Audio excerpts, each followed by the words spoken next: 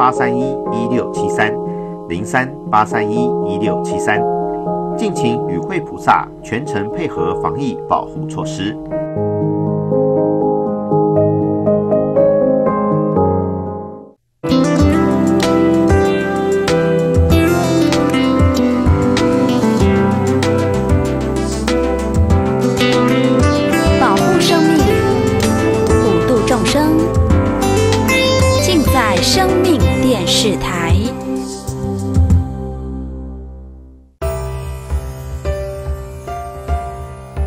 接下来，请收看般若讲座。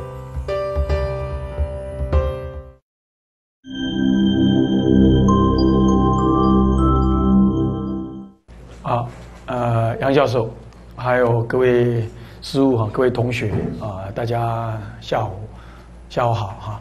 嗯，今天呢，我们延续上一次呢，跟大家谈的啊、所谓的啊、业力、病毒，还有佛法防护，它是一个三个三个命题分开来的。啊、我们上一次呢，跟大家谈业力，因为业力是最基本的。我说业卡玛这个概念呢，它是因为你任何的操作，啊、它都会留下呢，啊、后续的痕痕迹跟力量。那这样力量啊，是一种特殊的力量，它不是一种动能，它也不是一种一般性的啊啊、我们说呃物理性的力量，但它会表现出各式各样的力量，因为业力它表现为什么呢？它表现为造作者本身所要所要面临的一个 response 回应，一个回收。这种回收呢，它可以有很多种方式。我们来做个比喻啊。一般我们谈因果论，其实包括连呃基督教、天主教，像我的双胞胎弟弟，他是他是基督徒，那我就问他说：“哎，你们在宗教里头谈不谈因果？”他想了一下，他说：“嗯，哎，也是也谈因果。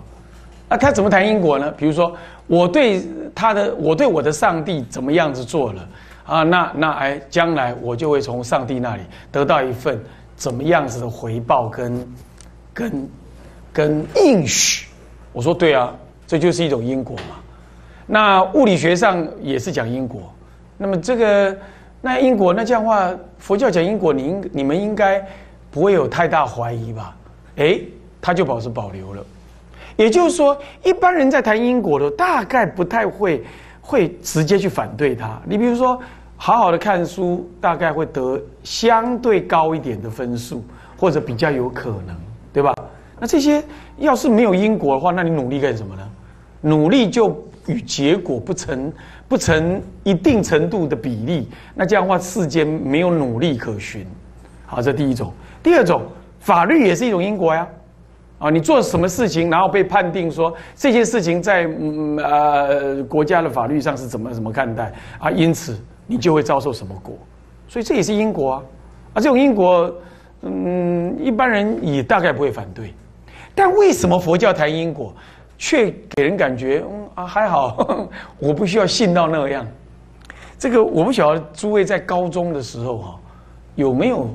有没有读过这一段呢？我我手里是有这么一一本的，我是为了我是为了将来让我比较有空一点的时候啊，呃，我打算纠集佛教界的一些大佬啊，要去要去做一些要去做一些澄清啊。呃，他文上这样写的：梁武帝沉迷佛教，我不晓得你们有没有读到这一段，有吗？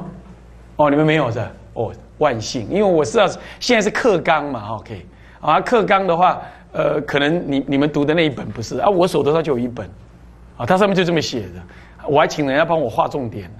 啊，梁武帝沉迷，沉迷，你你你晓得，我们一般在中文里头讲沉迷，大概只有沉迷女色，沉迷酒色，沉迷赌博，这叫沉迷。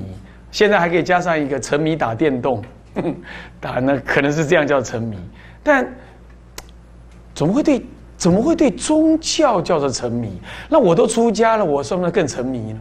糟糕，啊，那比如说这样意思，也就是说因果呢，好像在一般人，包括科学家，似乎都不会太反对。但为什么谈到谈到佛教的因果的时候，会有人甚至用到一种沉迷这种概念？那也就是说，因果在一般人的眼里，它是可以信到某个程度，是吧？在下一个程度就不能信了，是吧？哎，这就是值得我们讨论的。因果会不会随时间、空间，还有随你个人的主观观念而有所谓的信之有则有，信之无则无的呢？嗯，你你对于这个这个肺炎的病菌，这新冠肺炎的态度，你敢说你信它有就有，信它没有就没有吗？你一定不敢。我上次来的时候还好呢，在大门二楼就进来了，现在不是哎。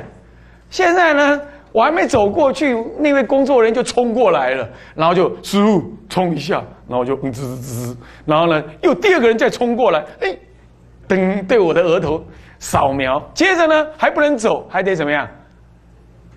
还得要 key 身份证字号还名字啊？那我就开始想，哎呦，这电脑有没有消毒啊？是不是是不是应该 key 完了之后再帮我再消毒一下？为什么？我也怕因果啊。光那个电脑就不是如是因如是果吗？也就是说，人类从来没遇到这次的这种世界大战状态啊。这个川普说他是准战争总统了啊，他这么他这么自己宣称，他说已进入备战状态啊，不大战状态。那我们都没看到啊。那我们相不相信？呃呃呃呃呃呃，存在侥幸呢？我们都不敢。所以说。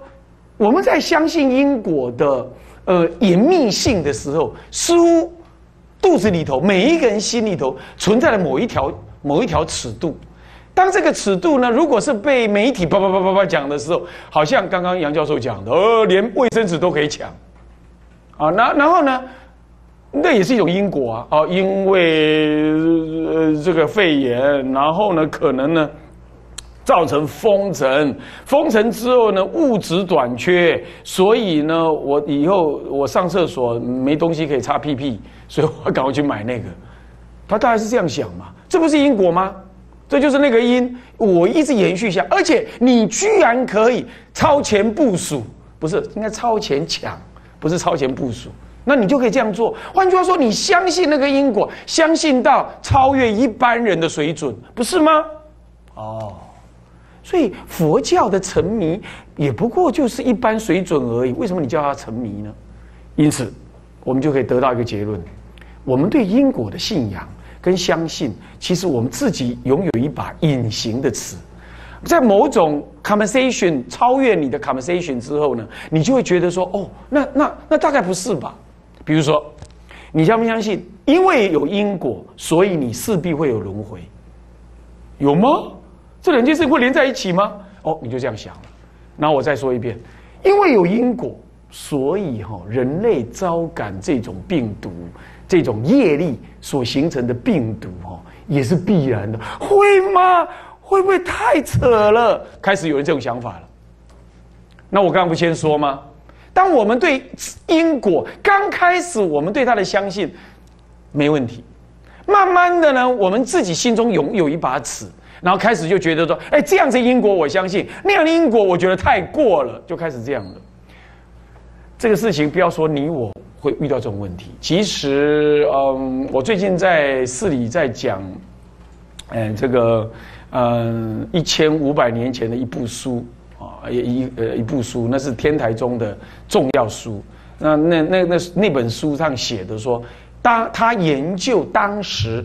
在两千五百年前的印度的哲学外道，外道，外道是什么意思呢？就是说，它就是我们现在要讲的，相信因果，相信错了。哦，相信因果会有错这件事情，要不要我要不要说几样你觉得很好笑的事？你知道吗？印度到现在还有这种人，干嘛？他这样站，他在他的修行是这样做的，这样注意看，注意看，这样。看到没有？我的脚立起来，这样叫做金鸡独立。干什么？他说这样叫学，呃，不好听啊。我我没有骂人的意思，叫学鸡，学那只鸡。为什么？因为曾经有他们的祖师呢，在禅定当中，注意听，在禅定当中看到一只鸡升天了，升到天上去。你要知道，所谓的天是什么意思？天，你可以这样讲，天龙国，听懂吧？天龙国就是在那里的生活很 OK，很自我完成，然后呢很自在，然后自以为高人一等。是的，有这有这种生活空间。那那个时候佛教给他讲叫做天。然后他看到一只鸡这样子，还有还有还有呢，呃，这个也有在印度到现在还有的，是怎样呢？嗯，吃东西的时候呢，学牛，然后呢一直吃一直吃，还要把东西放在那个那个甲两边，嘴巴讲两边，因为人人没有三个胃啊，牛有哎牛有三个胃的样子。然后呢，他用这样，他说牛可以升天，你只要学牛。还有一种是什么呢？是叫做苦力苦力修行者。他怎么苦力法呢？他说我在太阳底下，要给他晒，晒了之后我就受苦了。受苦之后，我人生的苦就被晒掉了。然后呢，晒还不够哦，还要怎么样？躺在钉床上。所以你听过印度有躺钉床的，是这样还啊？躺在钉床上啊，被太阳晒。他说怎样呢？他叫他有一套逻辑。他说吃苦了苦。假扣撩扣，嗯，好像对耶，但这样吃法的吗？OK，所以没有错，相信因果好像是一个根本见解，但是呢，从相信因果到什么因果可以继续往下相信，它的意义是不是真的是这样因果啊？那在佛教里头就出现了所谓的什么？所谓的正因果跟邪因果。也就是说，本来因果不是这样算的，不是这样看的，但你却会看成那样，把它非因即因。比如说，鸡做一条鸡，做一只鸡或做一条牛，不是保证你升天的因啊！注意因，他要升天。印度有很多人想要升天，他并不是想要成佛，他想要升天。升天可以哇，比较有五欲乐啊！哦啊，成佛的话，在他来讲太遥远，太难了。他说他不想，他想要做有五欲，五欲乐就是说财色名食睡这一类的，就是说有这些世间的男女啦、饮食啦、名利地位等等这类哦，这样，所以他要生那个，那他把它说哎当条牛可以，你想想看，我们想也，我们在用大概想这牛怎么可以呢？但他就这么认为。OK，好，这就是谐因果。那今天我们要来谈业力跟病毒。那这当中有没有一个谐因果的暗景在那，还是一个正因果在那里？哎，这就我就要先厘清，不然你会认为你听完了，你还搞不好中。哎呦，这师傅迷信。我我我告诉诸位啊，我我我大家应该上一次我介绍过了，我就成大物理系的，所以我应该是有一点逻辑概念，我不会去随便相信那种没逻辑的事情。那么因此，我们相我们要讲的是。佛教谈因果，确实也面临了我们现在人类自己会感受到因果的深浅怎么样，因果的正确与不正确怎样，也就是所谓邪因果跟正因果。那在佛教的态度里头是正因果，它可以一直贯穿到什么生命的样态？这种样态是怎样样态？是指凡夫生命的样态跟圣人生命的样态都一样。我在这里先讲一个讲一个故事哈。就从前，从前呢，嗯，应该在宋朝的时候，那么有一位禅师，那呃，他，呃，这个在讲经说法的时候呢，一直有一个人呢来听经，那个人的长相呢，就你说他是人嘛，是人，但直觉来看，有禅定的老法师来看，他就知道说，那不是一般人，应该。你知道寺院很多是在山里、山林里，那应该是，嗯，某一种动物有能力划线的人，所以他那个眼神呐是不太一样。好了，讲讲讲讲，他就一部小的经讲完了，讲完之后呢，大家就啊，谢谢师傅啊。那那天讲经圆满，大家回去，回去的时候他就坐在那里第一个位置，他看左右都走了，啊，老法师呢也给他这个机会，故意慢慢收东西。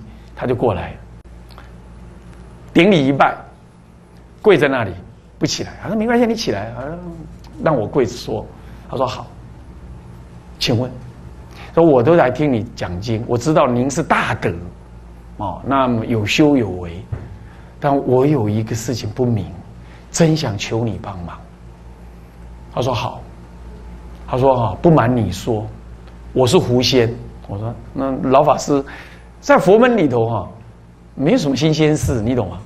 所以 OK，狐仙 OK，那那好，没关系，你是狐仙，那。有什么事？他说：“我是狐仙，但我的上一世呢是个修道人，是出家人。”哦，那这就有点让人惊讶了。那怎么会立刻就变狐仙呢？你要知道哈，生命的那个业感关系啊，它不是开关 switch，说这个因马上变那个果，或者是上一世好好的立即性的变怎样？那一定要有个原因的，不然它是。它是那种滑坡型的，不是悬崖型的。你诸位了解意思吗？因果业报就像我种一颗稻子，不是说今天一颗种子，明天嘣种长出一整一整株来，对吧？它是慢慢长出来的。你过去不好的因，现在也要在不好，要受那个不好的果，你是有机会的，因为它是滑坡型的。在这滑坡当中，你有机会做动作，让它转弯，让它停止，那是可以的。我我做一个比喻啊，我我把这故事我要讲下去之前，我先做一个比喻。我问你哈，一颗盐巴这么大一粒，啊，这么大一粒好了，这么大一粒，我叫你现在把它吃下去，你觉得怎么样？吃完饭之后，你就把它整颗吃下去，你觉得怎样？一定很难下咽嘛，对不对？是不是这样子？可是如果你想想看，如果我把它泡在三千 CC 的水里溶掉了，然后让你慢慢的今天喝个三杯，等一下再去跑一跑操场，再喝个一杯，O 不 OK？很快喝完了。你有没有把它吃下去？有没有？有没有？有。吃的方法不一样，对吧？是不是？对。接受因果是有好多种方法，没有说。啊！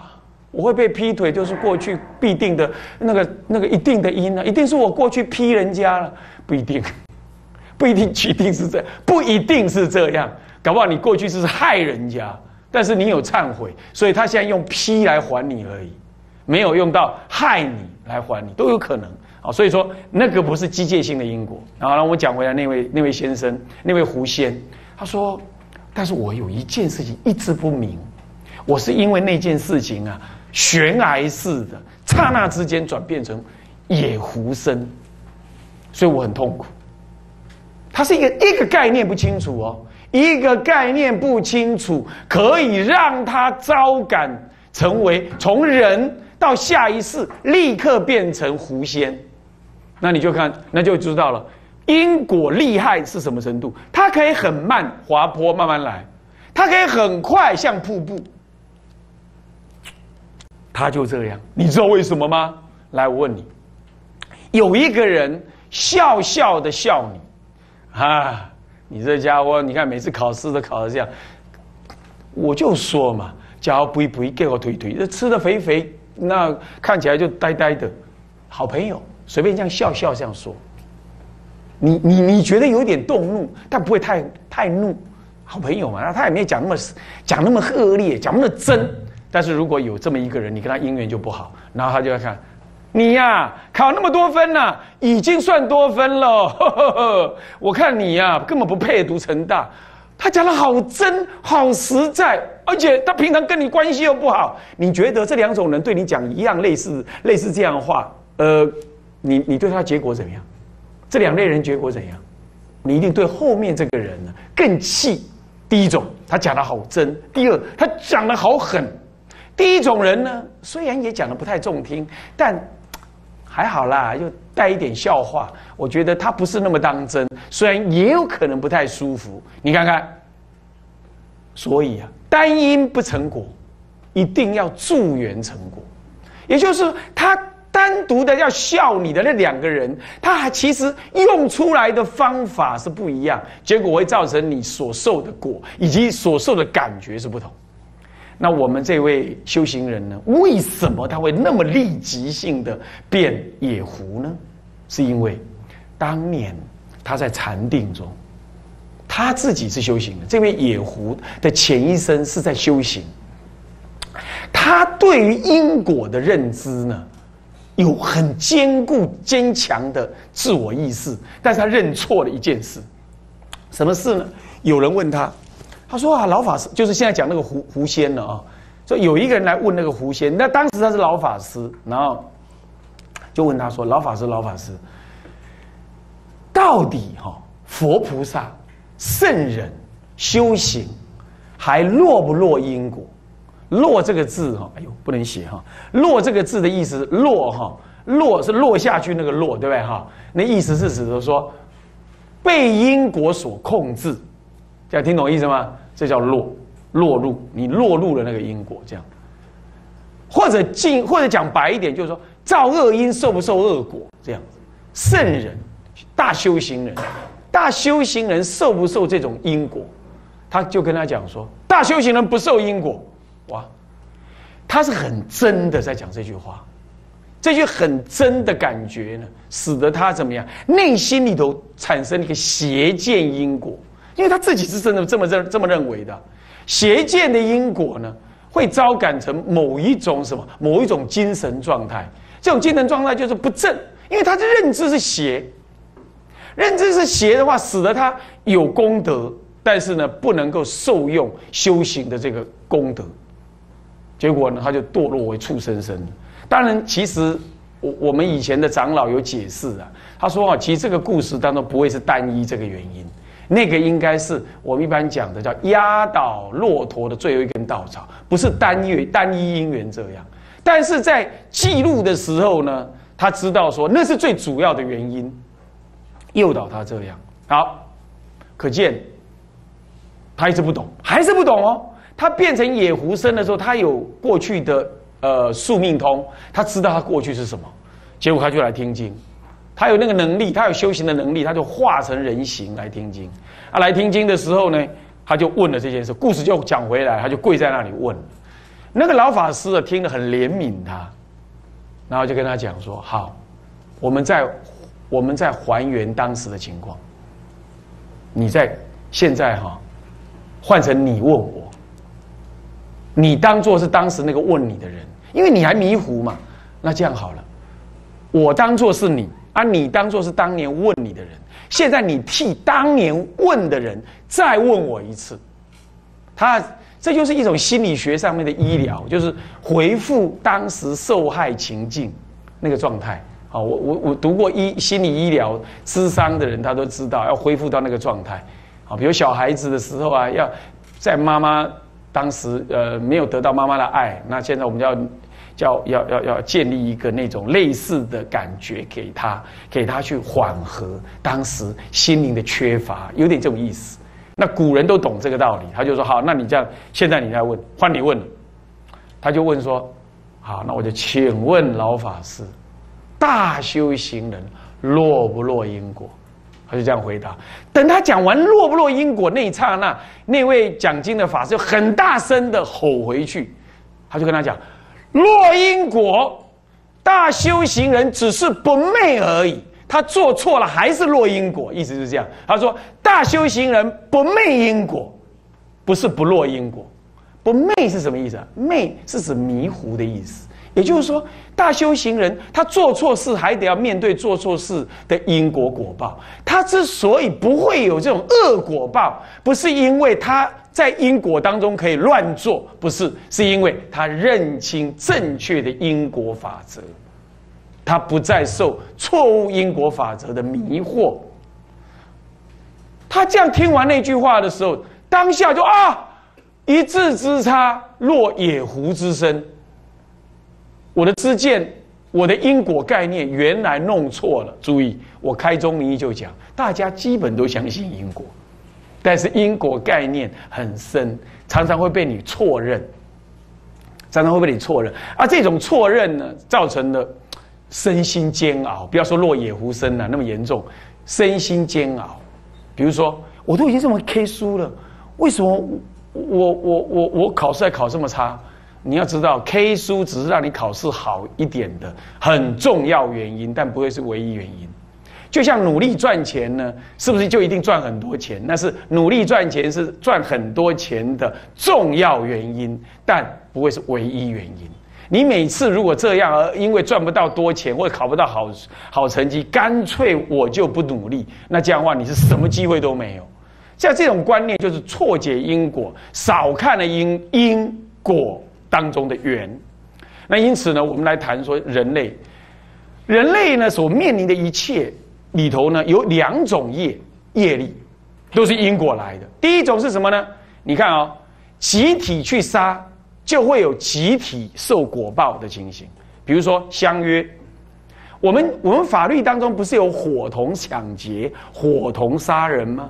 那这个当然，伙同的时候呢，只要这几个人通通互相咬出来，这几个人的共同罪状名义是一样，但是他会再抓一个叫做为首之人是谁，啊，那么呢，跟班的是谁，所谓的主犯从犯是谁，对不对？因此判刑就会有高跟低，但是名义基本是一样的，哎，这在佛教里头也一样，说众生我们一切。的人类面临的这种病毒状态是一种共业，就像我们说那一群小偷一起偷东西，他都有一样的罪名一样。人类呢，你看看哦，我们来看看哦，今天我们怎么说啊？中国大陆怎样？我们倒没有谈政治啊。我说，世界上对于对于这个从五连连中国大陆都承认。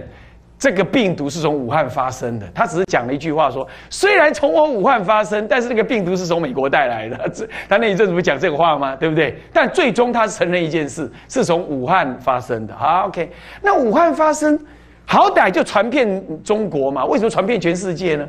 啊，因为中国人到全世界去，对吧？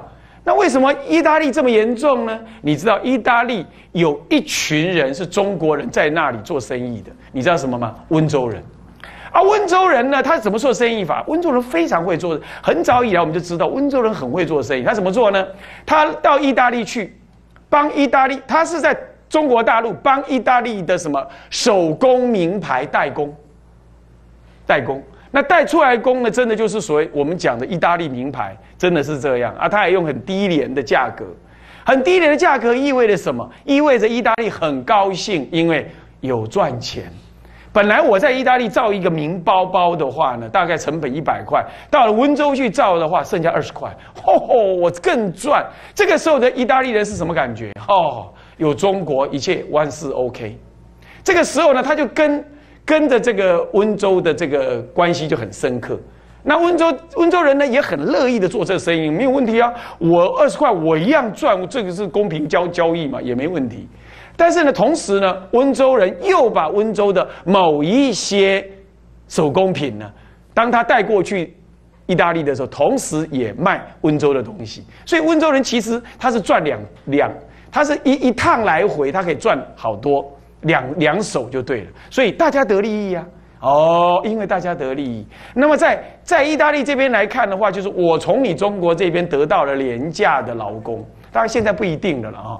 廉价的劳工，那像这也是很好的，本来就是市场机制嘛，没什么不对，也没什么政治问题啊。那就这样，结果结果呢？结果习惯于习惯于对于这样子的大陆来的人呢，是没有设防。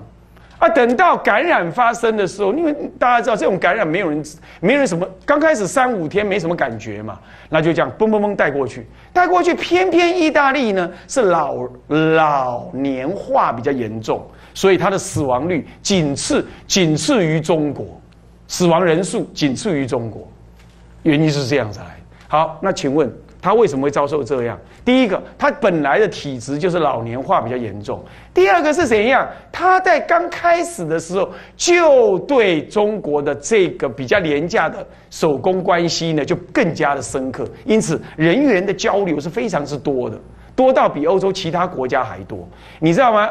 意大利那结果，意大利本身又有什么？又有一些低阶劳工呢，到瑞士中。中欧那一带去怎么样，去赚取更高额的手工，呃，这个这个一般清洁工啊，什么工的这一类的钱哦，那结果他们又往欧洲那边去传。整个事情是怎样来的？整个事情是这个国家跟那个国家的经济互动的需求量很密切，你已经得这个好因了，你得这个因了，因。